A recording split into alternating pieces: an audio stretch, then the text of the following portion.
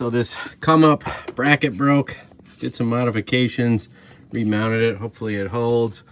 Also added spotlight. There's a light here underneath to light up up front. And then I actually added uh,